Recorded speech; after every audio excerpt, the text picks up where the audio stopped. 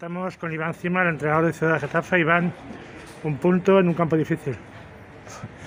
Después de la situación en la que veníamos un poco ahora con el partido de Móstoles, que no estuvimos nada bien, la verdad que este punto es oro y bueno, incluso en los últimos momentos pudimos hasta ganar el partido, la verdad. Es un partido, bueno, ha sido muy disputado, habéis sido siempre por detrás en el marcador, habéis conseguido empatar en dos ocasiones.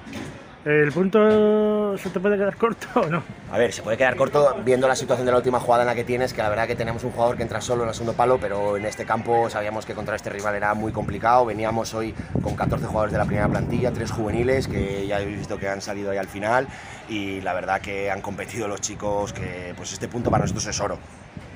¿Cuáles son las expectativas del equipo de cara a toda esta segunda vuelta que acaba de comenzar? Bueno, a ver, eh, las expectativas al principio de temporada eran estar en mitad de tabla para arriba. Ahora es cierto que nos metimos en una situación complicada, pero nosotros tenemos el objetivo de intentar mejorar esos 23 puntos que hicimos en la, en la primera vuelta y yo estaré contento. El equipo es joven, el equipo tiene muchísimo crecimiento por delante. No sé si este año o el año que viene, pero es un equipo que el mayor tiene 27 años y eso dice mucho del equipo, cómo ha competido hoy contra gente veterana que de categorías de en segunda B. Entonces, el equipo es que no se le puede achacar nada. Eh, bueno, es, es, contra todos los equipos en la primera vuelta. ¿Quién crees que pueden ser los favoritos para el ascenso? Hombre, ahí está ahí competido. Los, la verdad que los Llevanes llevaban 10 partidos consecutivos ganados, 11. Hoy pierde contra, contra el Ciudad de Los Ángeles.